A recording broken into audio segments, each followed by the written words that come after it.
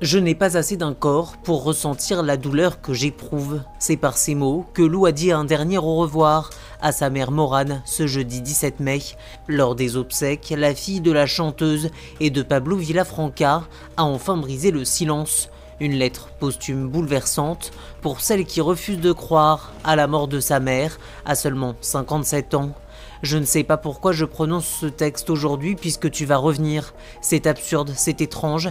Ta disparition me fait grandir comme elle me projette 15 ans en arrière, raconte-t-elle dans le texte diffusé par le média belge La Libre. Un message très émouvant dans lequel elle fait la liste de ceux qui va lui manquer.